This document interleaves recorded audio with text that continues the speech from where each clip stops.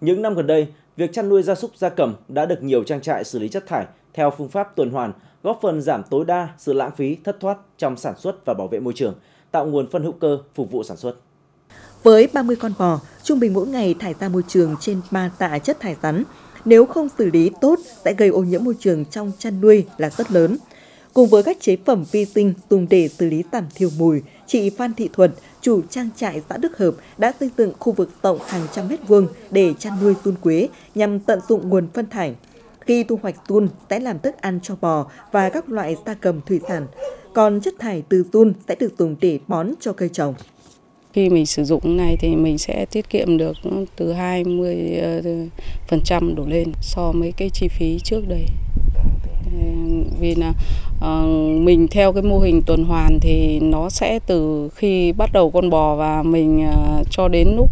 mình xử lý cho uh, các cái cây các con của mình ăn cuối cùng là nó ra được cái cái thành phẩm là hàng hóa chứ không phải là cái còn lại các cái chất thải trên khu trang trại của mình nữa.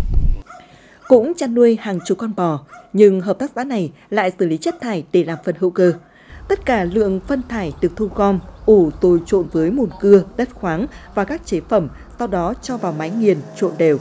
Với tỷ lệ hữu cơ cao và đủ các chất đa lượng vi lượng, vì vậy giúp cho cây trồng phát triển bền vững và xử lý được ô nhiễm môi trường, đồng thời tiết kiệm chi phí phân bón nhân công.